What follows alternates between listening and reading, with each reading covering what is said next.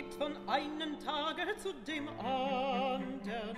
Man denkt, dass es nur vorläufig noch schlecht ist, man vorläufig entbehren muss, nur vorläufig sich demütigen muss. Vorläufig, das wahre Leben wird ja erst beginnen.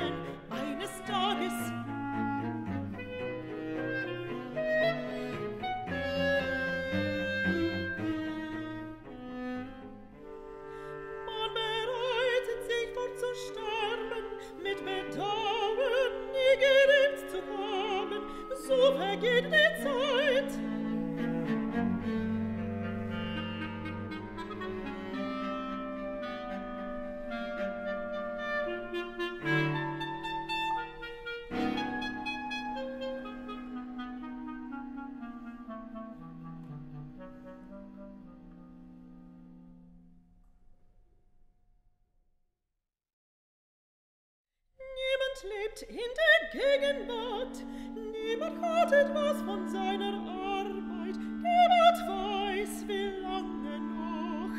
Auch die Freunde des Regimes leben in Unsicherheit. Auch sie wissen nicht wie lange.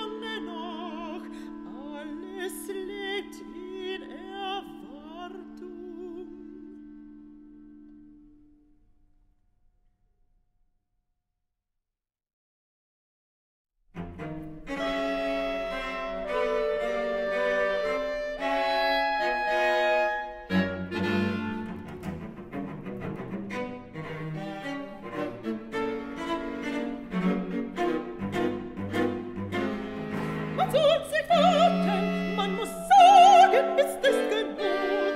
Jetzt ist es genug, von dieser Stunde an ist es.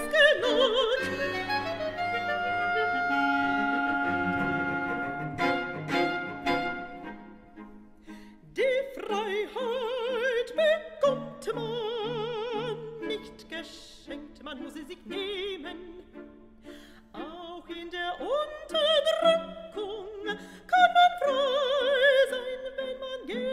sie gibt.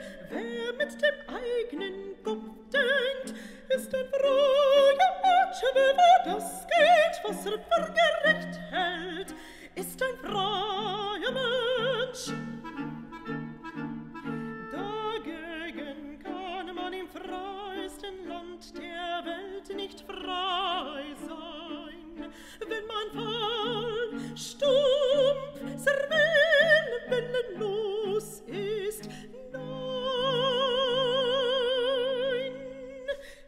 Freiheit mit gutem Wahn nicht geschenkt, man muss sie sich nehmen.